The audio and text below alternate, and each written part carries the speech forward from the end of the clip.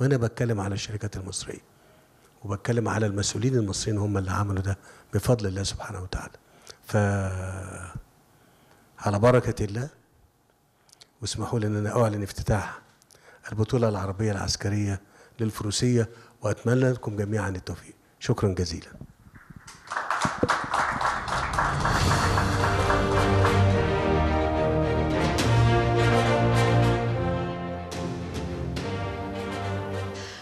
بسم الله الرحمن الرحيم. تبدأ الآن فعاليات البطولة الدولية للأعمار السنية والمؤهلة لنهائي المجموعة السبع تحت رعاية فخامة الرئيس السيد عبد الفتاح السيسي رئيس جمهورية مصر العربية والقائد الأعلى للقوات المسلحة.